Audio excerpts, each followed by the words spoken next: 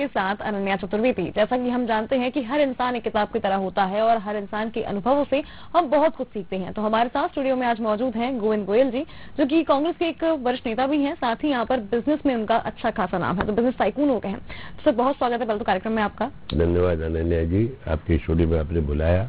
बात करने का मौका दिया। बिल्कुल। सर शुरुआत अगर शख्सियत से कर रहे हैं हम तो आपके जीवन के सफ़र के बारे में पहले जानना चाहेंगे। कैसा आपका जीवन का सफ़र रहा है अब तक का? क्या कुछ आपको लगता है कि अब तक हुआ है उतार चढ़ाव जैसा भी आपको बताना हो? देखिए एक बात है। मैं छोटा था। बहुत गरीबी भी देखी है। बेसिकली हम लोग राऊ के लेने वाले थे इंदौर महू के बीच में। रेलवे से हम इंदौर पढ़ने जाते थे हम पहली क्लास ट्रेन में छोटा था उठा के भी लोग चढ़ा देते थे।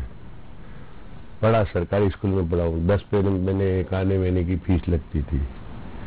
सब करके बड़े हम पढ़े फिर सातवीं, आठवीं के टाइम पे पिताजी इंदौर चले गए तो इंदौर में हमको इजी हो गया। ऐसे करते करते हम ग्रेजुएशन तक पहुँचे। हैं साइकिल से इतनी पैदल भी जाते थे। साइकिल भी हमारे घर में बड़े भाई की, बड़े भाई की, छोटे को मिल जाती थी। ऐसे कई परिस्थितियाँ देखी है और देख देख के लोगों से सीखा है। लोगों से मिल के सीखा है। मेरे ख्याल से अट्ठारह उन्नीस साल की उम्र में तो बॉम्बे हमारी शॉप के लिए परचेसिंग करने चले जाता था। वहाँ पे एक कल्चर नया देखा, लोगों की बातचीत का लहजा देखा तो काफ़ी कुछ सीखा। और मैं सोचता हूँ, आज मेरी सिक्सटी एट ईयर्स की एज है। जन ज़िंदगी में नया ने कितने परिस्थितियाँ देखी है। तो उम्र सीखने की कभी खत्म नहीं होती। जो भी आपके सोचना है कोई भी हो वो सोच ले हम सब सीख चुके हैं तो नहीं। जितना आप सीखोगे जितना आर एन डी करोगे रिसर्च एंड डेवलपमेंट करोगे उतना आगे बढ़ोगे तो आज भी मैं सीखने का प्रयास करता हूँ। ये दुनिया हर रोज एक नई शिक्षा हाँ डेफिनेटली मैं आपसे मिला हूँ आपके कपड़े देखूँ आपके तरीका देखूँ बातचीत का आपका हेयर स्टाइल देखूँ सब देखूँगा तो मुझे भी लगेगा नहीं यार मुझे भी थोड़ा ढंग से रहना चाहिए। ये हर जगह कुछ ना कुछ सीखता आदमी। तो सीखने का कोई नहीं, आपका वातावरण देखूँगा, फिर आपका स्टूडियो देखूँगा, मेरे ऑफ़िस में देखूँगा, यार इसमें इसमें कुछ और बेहतर हो सकता है। आपके वे ऑफ़ टॉकिंग देखूँगा वे ऑफ़ टॉकिंग से मैं सीखूँगा। यार अपनी बिहेवियर भी ऐसी होना चाहिए, हम लोगों से अच्छा और अच्छी मीठी हंस के बात करें। तो मैं सोचता हूँ, सीखता रहेगा आदमी और प्रयास करता रहेगा।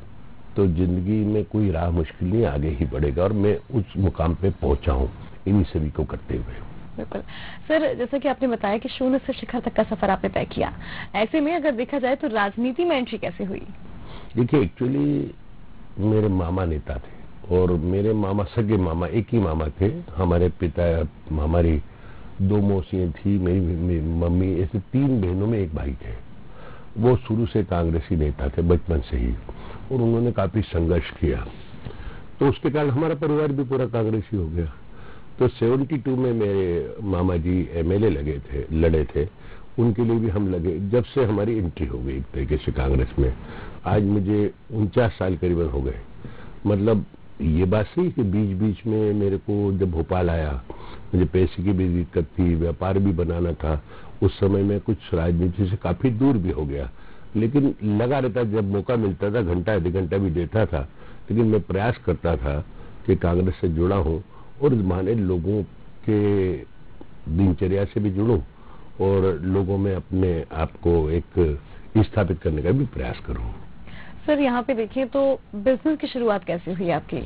बिज़नेस का मैंने आपको बताया नाइनटीन मतलब समझता हूँ उनसत्तर अड़सठ उनसत्तर से मैं बॉम्बे परचेसिंग करने गया। उसके बाद में हमारे पिताजी की बहुत अच्छी वेल रेपुटेटेड दुकान थी। उसमें से मुझे बिज़नेस का शौक था तो हमारा सेल्समैन मार्केट में जाता था। वो उस टाइम चार पहिए के ठेले पे जाता था। मैं उसके साथ गया, लोगों से बात की। देखिए, जब आपकी दुकान पे ग्राहक आता है तो आप थोड़े से अकड़ के बात करते हैं, क्योंकि वो अपनी ज़रूरत से आया। जब हम किसी की दुकान पे जाते थे, माल बेचने जाते थे, उसको ज़रूरत भी हो तो हमको मना करता था, हमको पटाना पड़ता था, प्रेम करना पड़ता था। वहाँ से मैंने बिज़नेस की शुरुआत की और मैंने ये सीखा कि बाहर जाके बिज़नेस करके ज़्यादा गेन कर सकता आदमी।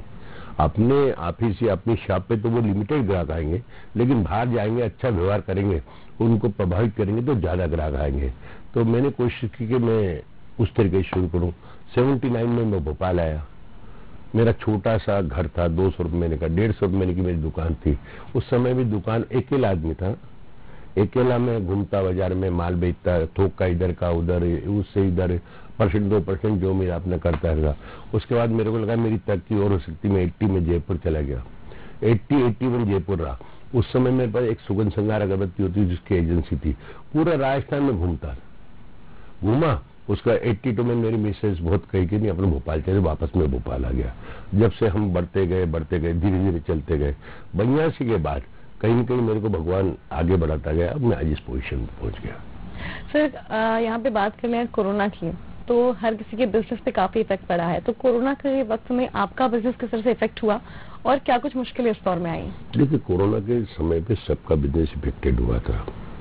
लेकिन हमारे पास एक एसेंशियल आइटम बनाते हैं तनमन डिटर्जेंट जो सोप भी आता है और पाउडर भी आता है। पंद्रह दिन बाद ही गवर्नमेंट का नोटिफिकेशन आ गया कि जो एसेंशियल आइटम्स हैं, उनकी फैक्ट्री चालू रह सकती है। उसके लिए हमने बहुत प्रयास किया चालू रखने का। उस समय पहले कोरोना में क्या हुआ था कि लोग प्रिपेयर्ड नहीं थे। अचानक ही कोरोना लग गया तो लोगों का सामान नहीं था, इसलिए माल की अच्छी डिमांड थी। लेकिन दूसरे कोरोना में लोगों की बहुत हालत खराब हुई। दूसरा कोरोना जब लगा, ये भी लहर आई तो उस समय लोग प्रिपेयर्ड थे तो उन्होंने सामान वगैरह खरीद लिया, लेकिन दोनों कोरोना में लोग आर्थिक दृष्टि से टूटे। जो कंज्यूमर है उपभोक्ता है, उसको कहीं की तकलीफ़ हुई। देखिए, आम चीज़ों के दाम बहुत बड़े पेट्रोल हो, डीजल हो, और भी कई चीज़ें हैं। ये तो एक सामान्य बात है, चीज़ों के दाम बढ़े। चीज़ों के दाम बढ़ने से क्रय शक्ति व्यक्ति की कहीं न कहीं कम हुई। और व्यक्ति की क्रय शक्ति कम होने से कहीं न कहीं बिज़नेस पे इफ़ेक्ट आ रहा है। और हमारा क्या सब तरह का और मैं सोचता हूँ आप मीडिया वाले हो, सबसे ज़्यादा मीडिया को इफ़ेक्ट आया। उससे ज़्यादा पेपर वालों को इफ़ेक्ट आया कि लोग इतना उस टाइम भ्रम फैल गया था पेपर छूने को तैयार नहीं थे। लेकिन पर मैं कोरोना से डरा नहीं हिम्मत से मुकाबला करता रहा। और तो और मैंने मास्क भी बहुत कम पहना, मुझे पसंद नहीं आता था। लेकिन मुझे कोई तकलीफ़ नहीं हुई। हाँ बिज़नेस में जो सबको इफ़ेक्ट हुआ, थोड़ा हमें भी हुआ। अब चलता है, जैसी परिस्थिति होगी वैसा रहना पड़ेगा। लेकिन हमारी आज भी अच्छा बिज़नेस है। हमारा दो तीन बिज़नेस है। एक तो हमारी अगरबत्ती आती पूजा पाठ के नाम से भोपाल में काफ़ी एक्सेप्टेड है।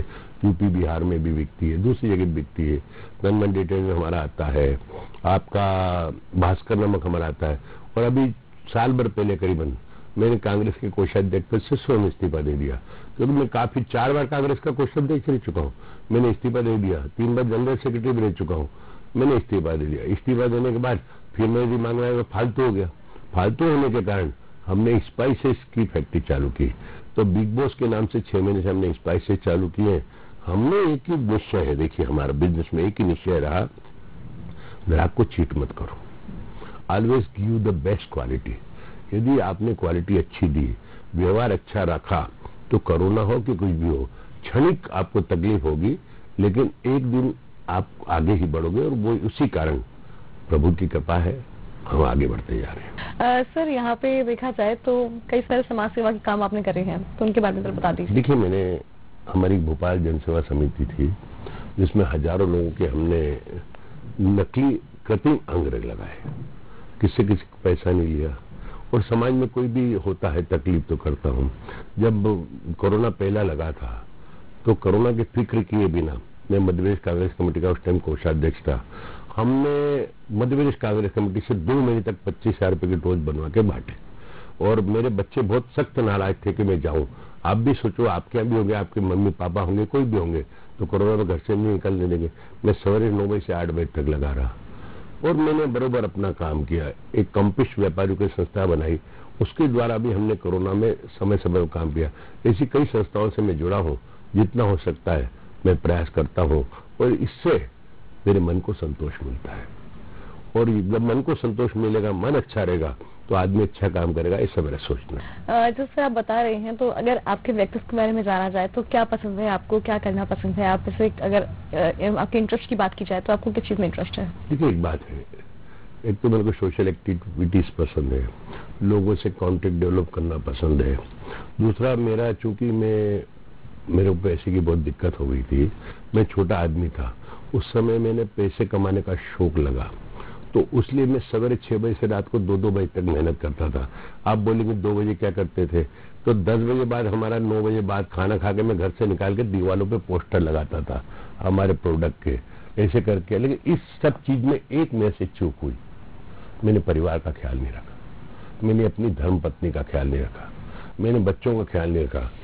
तो धर्म पत्नी कहीं कहीं मुझसे दुखी भी थी, वो चली भी गई। मुझे आज तक दुख है कि मैंने उनका ख्याल नहीं रखा। जहाँ तक बच्चों का सवाल है, मेरे दो बच्चे हैं। दोनों का नाम आकाश और Venkatesh they are doing well मेरी इतनी भगवान ने मेरे को सफलता दी कि मेरी ग्रैंड डाटर उन्नति है। अब ये अमेरिका में लॉस एंजल्स में पढ़ रही है। तो मैं भगवान से भी खुश हूँ, अपनी मेहनत से भी खुश हूँ मैं ये चाहता हूँ कि आदमी प्रयत्न करे। यदि कोई आदमी टारगेट बना ले और उसने डिसीज़न ले लिया। डिसीज़न गलत हो या सच हो, उस पर लग जाए। वो यदि डिसीज़न के लिए, अपने इम्प्लीमेंटेशन के लिए पूरी तरह से लग गया तो कामयाबी मिलती है, थोड़ा समय लगता है, लेकिन आदमी को हार नहीं हार के हिम्मत करना चाहिए। सर, जिस तरीके से आप अपना पूरा एक्सपीरियंस बता रहे हैं, अगर देखा जाए यहाँ पे तो जीवन में उतार चढ़ाव सभी के आते हैं। लेकिन कभी कुछ ऐसा हो जाता है जिसमें हमें कुछ सीख भी मिलती है और आगे के लिए हम सतर्क भी हो जाते हैं। तो आपके जीवन में कभी कोई ऐसा पहलू आया जब आपको कुछ सीख भी मिली हो और आप सतर्क भी हुए हों? सीख तो मैंने कहा ना, मैं सीखता ही रहता हूँ। जब भी दिन भर, आज भी आपसे मिलूँगा, इनसे मिलूँगा, उससे मिलूँगा, कहीं ना कहीं सीखने की सीखने का तो प्रयास है, लेकिन उतार आए, चढ़ाव आए, कोई फ़िक्र नहीं करी। मैं एक जैसे धुन में लगा रहा।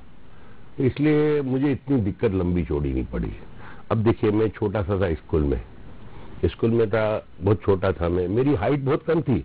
क्लास की लाइन में हमारे प्रार्थना होती थी, बड़ी बड़े हाल में होती थी, सवेरे सवेरे। उसमें जाते थे, मेरी छोटी हाइट थी, मैं बड़ी करने की कोशिश करता था नहीं होती थी। और आप मानोगे नहीं, मैं बचपन में बहुत दुबला था, बहुत दुबला। मैं बारह बारह रोज के आलू बड़ा खाता था, मोटा ही नहीं होता था। बड़ी परेशानी मैंने झेली। अब सेवंथ एट्थ में मेरे सर कुया जी थे महेश्वरी विद्यालय इंदौर में पढ़ा हूँ। बोले, यार, तुम डिबेट में जाओ। अरे, मैं डिबेट मतलब वाद विवाद पे थे मैं जाओ और मैं कैसे जाऊँगा सर? मैं दूध जाऊँगा। बोले, जा। मैं गया साहब एक मारवाड़ी कन्या विद्यालय, नैलिया बखल इंदौर में। मैंने डिबेट में भाग लिया। लड़की ज़्यादा थी और लड़के भी थे, उनने डिबेट में भाग लिया। अब डिबेट में भाग लेने के बाद मैं बुरी तरीके से हार गया क्योंकि पहली पहली बार माइक के सामने खड़ा रहे तो आदमी थोड़ी घबराहट हो जाती। लेकिन फिर भी सर ने मेरे को प्रोत्साहित किया, हिम्मत नहीं रही तीसरे, चौथे दिन या आठवें दिन कोई दूसरी जगह में भाग लेने गया। और भाग लेने गया, वहाँ से कप मेरे को मिला। और कप मिला तो मेरे को स्कूल में सर ने, जब हमारी प्रार्थना थी, ऊपर स्टेज पे लाके वो कप दिया। उससे मुझे बड़ी प्रेरणा मिली और मैंने सोचा, यार बोलने की हिम्मत आ गई। और आप, मैं आपको बोलता हूँ अच्छा बोलो अच्छा रहो अच्छा व्यवहार करो तो देश का प्रधानमंत्री भी बन सकता है, जैसे अटल जी बने थे। अटल जी की बातचीत की बड़ी तरीका था, इंदिरा जी की बातचीत का बड़ा तरीका था, नेहरू जी का तरीका। तो आपको बोलने में हिम्मत रखना पड़ेगी। और बोलने में, देखिए, डिबेट में क्या होता है, एक ही चीज़, उसकी अच्छाई भी बोलना है, बुराई भी बोलना है। तो आपको उसके लिए प्रिपेयर्ड होना पड़ता है। तो यदि आप प्रिपेयर्ड होकर कोई काम करो तो कामयाबी सुनिश्चित है, उसकी राह पे चलता रहा तो उसमें चलती है मैंने कभी इतनी फीलिंग ही नहीं की।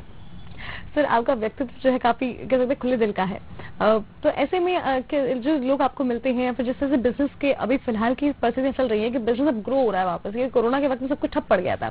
तो आपके व्यक्तित्व की वजह से क्या लगता है कि जो आपकी ऑडियंस है, आप कह सकते हैं कि जो आपके कस्टमर्स हैं, उनका जो एक मास्क एक आपके पास अच्छा खासा उनका है तो उनसे कैसे अगर कोई बातचीत होती है तो कैसा वो लगता है? क्योंकि एक कम्युनिकेशन जो है, बैठाना बहुत ज़रूरी होता है कस्टमर के साथ तो कैसे आप उनसे कम्युनिकेशन बैठाते हैं? देखिए, हम हमारी लाइन है। हम कॉरपोरेट नहीं है। स्मॉल कॉरपोरेट है प्राइवेट लिमिटेड कंपनी है सुनिए आजकल की तारीख में कोरोना में छोटा व्यापारी बहुत परेशान है। और पिछले दो पाँच साल से, दस साल से जो गवर्नमेंट की नीति आई है, उसके कारण छोटा और मध्यम वर्ग बहुत परेशान है। क्योंकि तो जितने भी कारपोरेट और मल्टीनेशनल के ये दुकानें खुल रही है, आप समझते हो, जो भी डी मार्ट हुआ, बेस्ट प्राइस हुआ, बेस्ट वो रिलायंस हुआ, जो भी है वट अब ये लोगों के पास 20 परसेंट कस्टमर चले गए और उनकी कैपेसिटी कैश एंड कैरी की। अब छोटे मध्यम दुकानदार है, उनकी दिक्कत क्या होगी? उनके पास जो ग्राहक आते हैं, या तो उनकी कैपेसिटी परचेसिंग की कम है, या उनके पास कैश की कमी है। तो ये कहीं ना कहीं इंडिया में 135 करोड़ लोग हैं। उसकी तरफ़ देख के गवर्नमेंट को सोचना पड़ेगा कि छोटा छोटा व्यक्ति भी ज़िंदा रहे। आज छोटे दुकानदार की हालत खराब होती जा रही है। और इससे कहीं ना कहीं हम लोग हमारे भी कस्टमर मेनली वही हैं।